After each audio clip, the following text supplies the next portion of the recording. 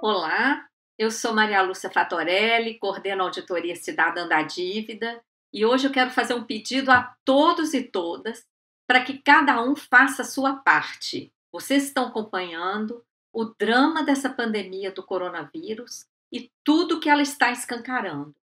Em especial, a carência de recursos para a área de saúde pública, a falta de leitos, apenas 10% dos municípios brasileiros possuem leitos de UTI.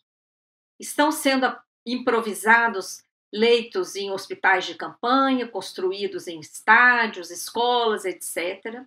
Faltam materiais de proteção, não temos material suficiente nem para os profissionais de saúde. Faltam equipamentos como respiradores, faltam materiais para pesquisas. Aliás, essa área de ciência, tecnologia, educação e pesquisa tem sofrido cortes. Desde a emenda do teto, então, esses cortes pioraram. E agora, essa pandemia está escancarando a necessidade de recursos para todas essas áreas. Há também uma carência enorme de recursos na área de assistência social. Muitas pessoas estão perdendo empregos informais, aqueles que sequer possuíam uma atividade, estão correndo risco de vida, não tem como sobreviver. O auxílio de 600 reais que o Congresso Nacional aprovou é um passo importante que vai socorrer aquelas pessoas muito pobres que recebem até meio salário mínimo por mês, 522 reais atualmente. A, a, a chefe de família que cuida sozinha da casa poderá receber até R$ 1.200 mas a maioria das pessoas vão receber até 600 reais e por família não poderá passar de 1.200. É importante ressaltar que esses 600 reais sequer alcançam o valor do salário mínimo do país. Por outro lado, já foi liberado 1 trilhão e 200 bilhões de reais pelo Banco Central para o sistema financeiro, sem necessidade de limite sem necessidade de comprovar nada, já está liberado. Com a desculpa de que eles iriam aumentar a liquidez e jogar mais recursos na economia, mas não é isso que a gente está vendo. Nós estamos vendo as dificuldades das pessoas acessarem o crédito e o aumento dos juros.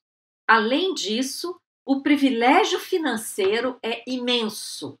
Todo ano no Brasil, o sistema da dívida consome cerca de 40% dos recursos do orçamento federal. É por isso que nós estamos colocando um, um chamado à participação de todas as pessoas, uma petição pública que vocês poderão assinar para suspender o pagamento desses juros e encargos da dívida pública. Quem vive de juros pode esperar. Já ganhou a vida toda os maiores juros pagos no planeta. Numa hora dessa de pandemia, esses que recebem os juros e encargos da dívida podem esperar para que os recursos sejam aplicados nas áreas relevantes de interesse da sociedade: saúde pública, educação e pesquisa, assistência social e outras. Então, acessem essa petição em nossa página auditoriacidadã.org.br, está lá em destaque, e pressione as autoridades do país pela instalação imediata de completa auditoria dessa dívida e suspensão imediata de seus pagamentos. Como eu disse, Bancos, especuladores, rentistas podem esperar. Aquelas pessoas que vivem de salário ou que sequer possuem alguma renda, não. E se tiverem a suspensão de, de seu rendimento, correm risco de vida.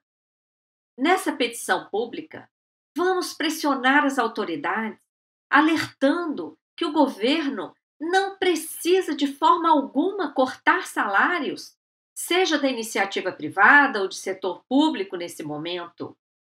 Temos mais de 4 trilhões em caixa.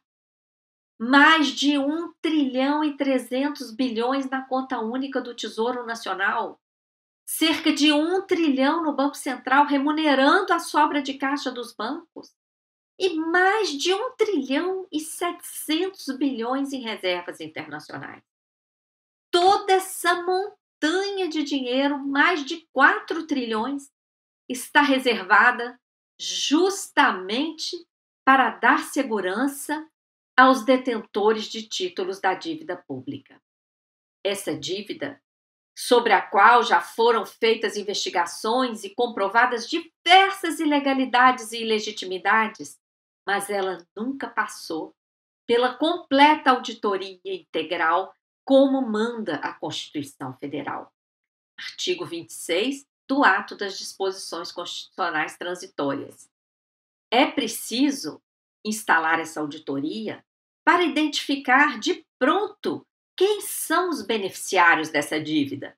Porque o governo gosta de falar, os liberais também, de que fazer auditoria vai prejudicar os pequenos. Mentira! O tesouro direto não corresponde nem a 1% do total de títulos da dívida pública. Então, uma das primeiras tarefas da auditoria será justamente segregar os seus beneficiários, os mecanismos que geram dívida e que sequer deveriam estar na conta da dívida pública.